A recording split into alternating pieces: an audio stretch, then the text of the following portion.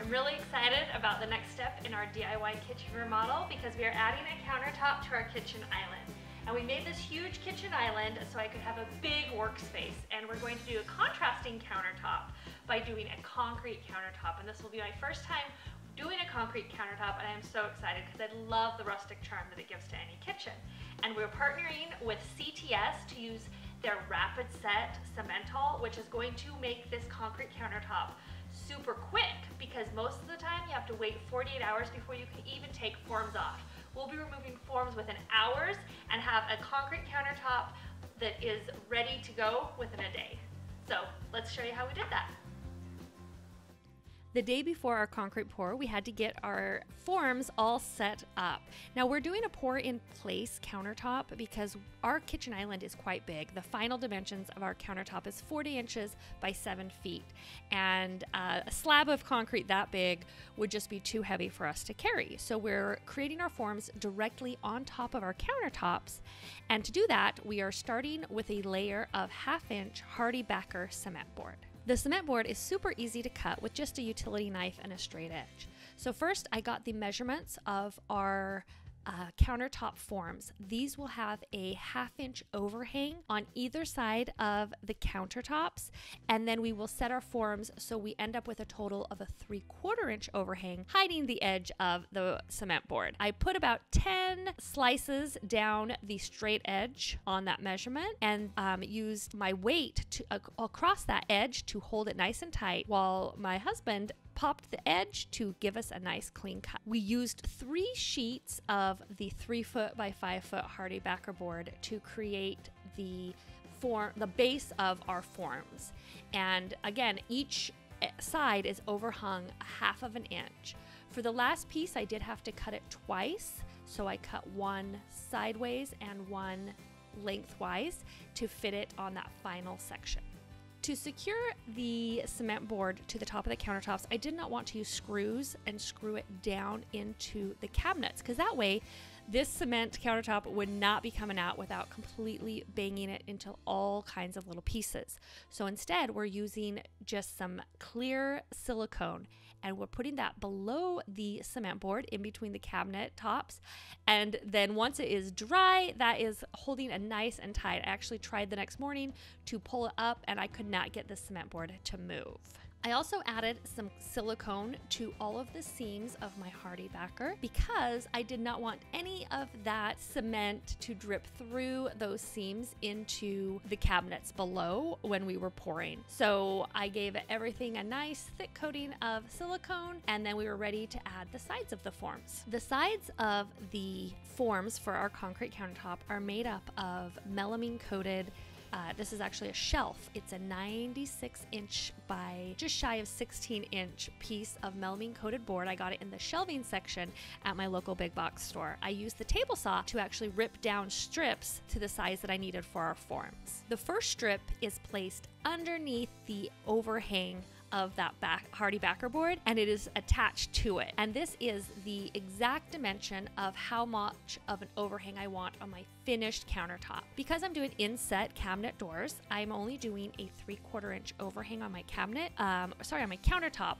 over the cabinet. So I ripped three quarter inch pieces to fit flush up against my countertop and attach to the underside of my cement board. Then I also ripped the pieces to go on the sides. Now, a standard kitchen countertop is one and a half inches thick, and that is the dimension that I went for my concrete countertops as well. I like that it's nice and thick, um, really substantial looking, and it matches um, the other countertops, which we did, which are wood countertops on the outskirts of the kitchen. So after ripping my skinnier pieces from my melamine board, I also ripped um, pieces that were actually two and a quarter inches because my melamine board is three quarter of an inch thick. Then I had my one and a half inch thick for my countertop thickness. Once I had all my pieces ripped, I went to my miter saw to cut them to length to start creating the forms around that cement board. That first board, I cut it so it was the exact same length as my countertop.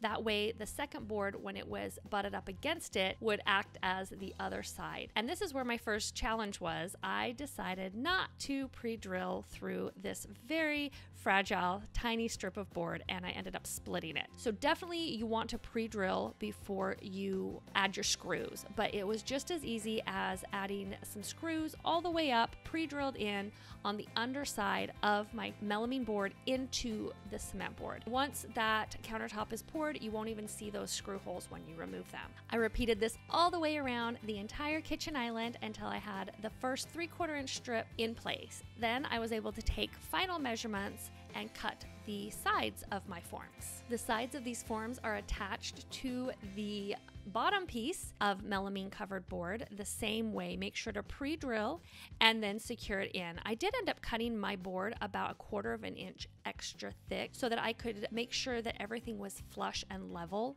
as I attached it. And that came in very handy because as we discovered, not everything was perfectly flush. So on one side of my countertops, it's maybe about an eighth of an inch different thickness than the other side, um, which is important to keep this nice and level because the concrete will flow into it and you want to make sure that it's flowing into a level surface. Also, it's really important when attaching the other side that you also keep it level to the first side. So make sure you have a level big enough as you're installing the second side to keep it level all the way up so that you have a perfectly level form all the way around your entire island. And then I finished off the forms by attaching the front and the back, again, keeping it level. I'm gonna see how many times I can say that um, in this entire video. So make sure everything is nice and level. That level became my best friend. Uh, luckily, the front and the back were a lot easier because I already had the two sides perfectly level and ready to go. Now, typically with a cement form, you will add caulk into the seams of that melamine board, but because we only have a quarter inch overhang between the cement board and the melamine, there was just no way I could get anything in there to smooth out any, um, any silicone. So what we ended up doing the day of our pour is adding um, a piece, a little bit of duct tape around the outside of the form, and the only reason for that was to keep any cement from flowing through. And mostly it was because we didn't want it to continue to flow through. We wanted it to um, actually create a border for it to stop at.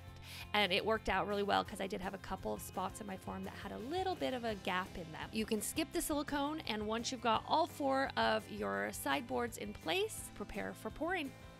Hey, we got the countertop forms all built today and we are ready for tomorrow, which is pour day. And we're really excited because CTS is sending out their uh, local reps to help us with pour day so we can make sure that we get all of our concrete pouring questions answered and we'll be make sure to share those with you guys as well.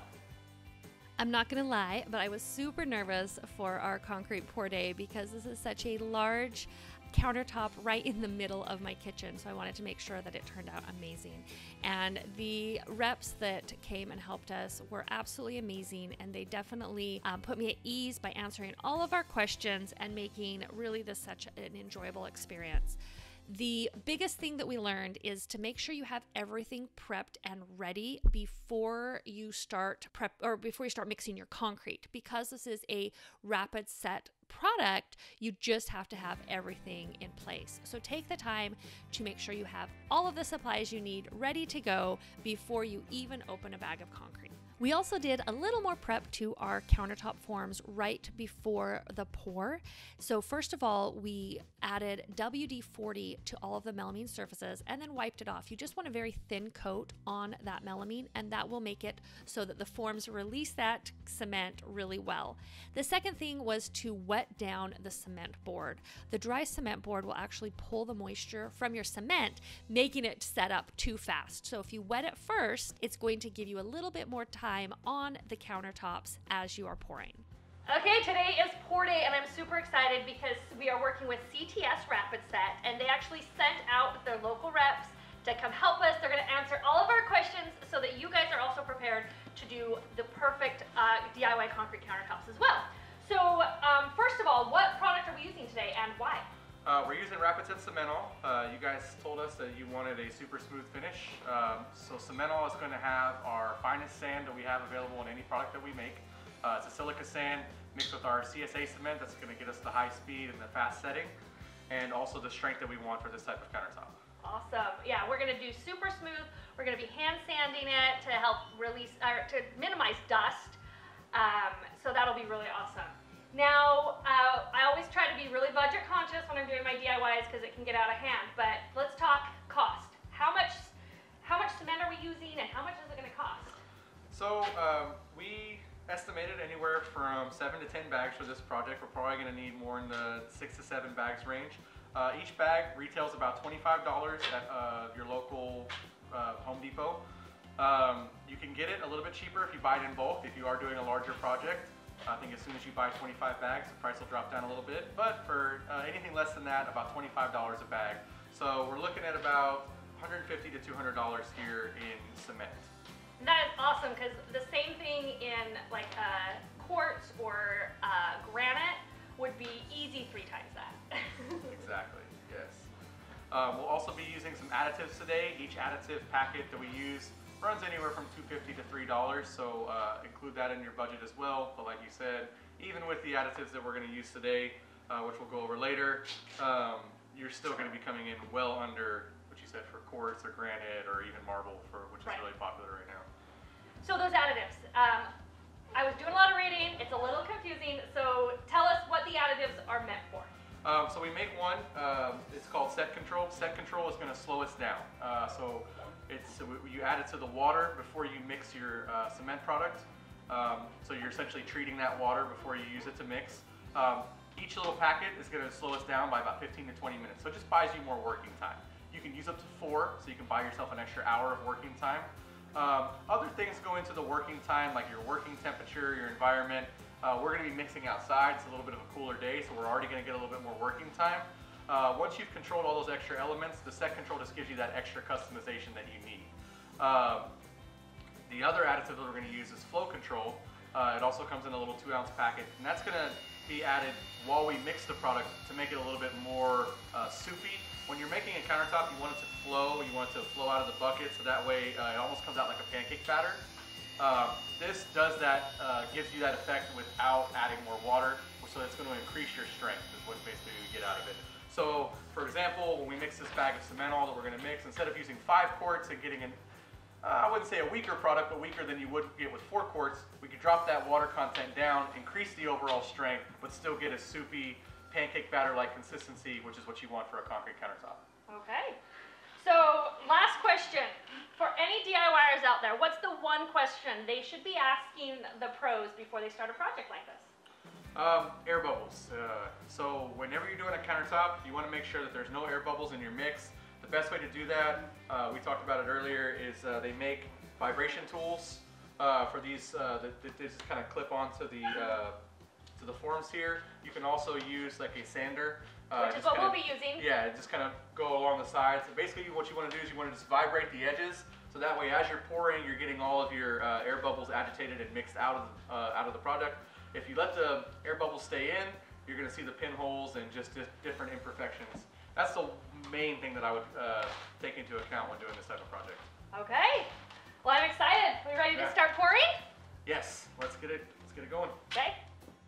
Because we're using multiple bags for our project, we need to make sure that we use the exact same amount of water for each pour.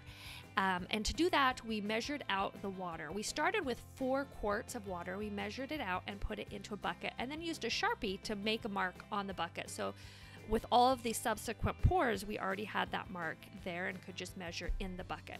We did end up going with an additional quart after we did the first mix, and lots of things will uh, affect how much water you need to use, but you definitely want to stay on the lower side and then use that um, flow control to get your nice pancake batter consistency. And that's going to make sure you don't have to worry about any strength problems. So once you get your water measured and everything is ready, it's time to start mixing. Because we are working with a lower temperature day, we um, only used half a pack of set control per bag of Cement All, and we included that into the water. So the set control goes into the water, then the Cement All gets poured into the water while you're mixing to get that all mixed up. Once you get mostly mixed up, you can throw that flow control in to get it really to that soupy consistency that you want. And you can use up to four bags of the cement control, and the flow control per 55 pound bag of Cement All. We ended up using one and a half packets of flow control and only half a packet of set control for our project. And this is where the extra sets of hands really came in handy. So we have two people in the house and we were pushing the product into the forms to make sure that it was filling in all of the corners, while two more went outside and mixed the next batch. Remember, this is a fast setting product, so you really do have to work fast. And that first one started to dry a lot quicker because it was the first one in there, even though we'd wetted that cement board. So you really do want to work super, super quick getting that second batch and third in. And then it was just a matter of quickly mixing another batch up, pouring it on top, smoothing it out. And we did that and ended up using a total of only five bags for our concrete countertops. After we got a couple bags poured in while one person was smoothing it out, Another person was using that sander to get rid of those dreaded air bubbles. And it really is just a constant process all the way around the sides, vibrating it, smoothing it out, and just working it together in tandem to get the perfect top on that. And once all of the um, bags, well, we had four of the bags in already, so it was starting to look very full. We grabbed a straight 2x4 to use as a screed, and we used that to um, start pushing the any high spots into the low spots and also it helped us identify where there are any low spots and you want to do this at an angle as you go over the top of the board until you can get um, a really nice flat surface and with the form completely full, we used a little bit more smoothing on that entire surface, and that required um, a couple trowels. And when you're troweling, you want to kind of go in a large arch motion. You also want to have your trowel at a very slight angle, and it's really like frosting a cake, you have such a light hand on that, and it'll take a little bit of getting used to. But because you've got um, corners on that trowel, you got to keep it nice and smooth. The first few times as you're getting used to it, it's okay because you can really fix those. But as you get a little bit better at it, you're going to start having the flow, then your product's going to start setting up. So it'll be more important to keep a very smooth hand. And at this point, it was all hands on deck, vibrating out air bubbles and smoothing off the surface to get that nice smooth top that we wanted for our countertops. For the very last step of the smoothing of the top, we used a special trowel that has rounded corners, um, and that made it so that we were able to kind of polish out any uh, last imperfections that we could see without having those harsh corners that could scrape up the surface. And now it was waiting time. You have one hour of waiting between finishing that pour and before you can pull off those forms around the edge of the countertop. And this part, it's very important to keep the countertop wet. So for that whole hour, it's wetting it, and then you kind of wait as that water starts to evaporate and wet it again. And this is going to make sure that it doesn't crack or have any other problems as it is curing. That first hour is just super important. So um, we got to stand around and just enjoy some quiet time while we waited and watched that water evaporate and kept that surface nice and cool and moist. Now, if it's a um, cooler day, you're to have a little bit less water, a little slower evaporation. If it's a hotter day, more. So just be really um, careful to keep that surface nice and wet for that first hour. And after the long hour of waiting, it was finally time to start removing the forms. And this was nervous as well as super exciting because, you know, you just praying that everything worked out as it was supposed to, which of course it did, spoiler alert. So um, I started by taking out all of the screws, but um, learned that I didn't need to take out the screws on the side. Really, once you release the screws into the cement board from underneath, the sides popped off, which was good because those sides also have, had a lot of cement in the screw holes, so it almost made it impossible to remove that. So um, remove all the screws around the bottom, and then you will carefully kind of just pop that edge off. And with the WD 40 attached to the side, it really did just pop right off. And now it's time for sanding. Now, sanding does have to happen very quickly because this is a fast set product. It also is really hitting its top strength really quickly. So, right after we got those forms removed, it was time to do some hand sanding. Now, we are doing a more of a rustic to smooth countertop look. It's not going to be high polished, it's a low sheen, which matches all of the matte finishes that I already have going on in my house. So, we're doing hand sanding, and we started with 220 grit and I just put some 220 grit wet sandpaper on a block and lots of round motions to sand it around. And this first layer is the most important because this is the layer where you're getting the cream off the top of your countertop. And it is important to get that cream off because that is the layer on the very top of the concrete that is most prone to scratching, which obviously we don't want on our concrete countertops. So you'll notice as that cream starts to go away because as you are sanding, you will see a white film that you will create and then you will clean it up and do some more water sanding and eventually you'll start noticing that that white creaminess to the sanding just tends to go away. And once we got through that whole top layer with the 220, we switched to a 400 and a 600 grit for the final two sandings. I did start using the lower grit or I guess technically higher grit uh, sandpaper with the block as well, but I found it actually was a lot easier to do by hand. So we just made sure to keep that surface wet and a lot of hand sanding. It's a really good um, arm and shoulder workout, but it's actually very satisfying to see that surface come to life. You can sand as much as you want with your countertop. Uh, we did again we kept it very rustic. Now we did have some pitting on um, some parts of it and i considered trying to sand it more or even skim coat it out. But once everything was dry it was very hard to see. It's really not noticeable on our final concrete countertop and i actually really like the look of it. So it was a happy accident i guess you could say. And so once you're happy with the sanding on your countertop it's time to just give it a nice cleaning and then you can clean up the entire area and let the entire thing cure. Now, you do need to let it cure for 16 to 24 hours before applying a sealer. Uh, so, I would really keep it protected from any water, especially any oil or um, citrus acidic foods, for that entire 24 hours um, before the sealer is applied. And after the sealer is dried, it is all done. That was such a easy project when I look back on it, and I cannot wait to do more cement projects. Um, this rapid set cement really does make it so you don't have to set aside a whole week to do a project. And the color on it, it's a lighter, almost whitish gray color, which is absolutely gorgeous. And it works perfect in our DIY kitchen. So I really want to thank um, CTS Rapid Set and their amazing reps that came out and helped us to create the perfect kitchen countertop for our kitchen. And I am so excited to put it to so much use.